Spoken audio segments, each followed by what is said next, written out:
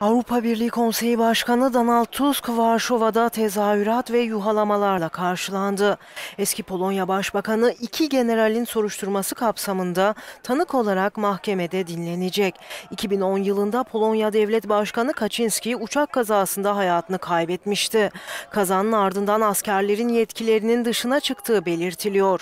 Dönemin başbakanı olan Donald Tusk'un onayı alınmadan hareket ettikleri ifade ediliyor. Yaroslav Kaczynski de o dönemin başbakanı Donald Tusk'u olayı aydınlatma konusunda isteksiz davranmakla suçluyor. Yeni Polonya hükümeti Tusk'un hükümet karşıtı protestolarda taraf tuttuğunu savunuyor. Geçtiğimiz Mart ayında Donald Tusk ülkesi Polonya'nın itirazına rağmen yeniden Avrupa Birliği Konseyi Başkanı seçilmişti.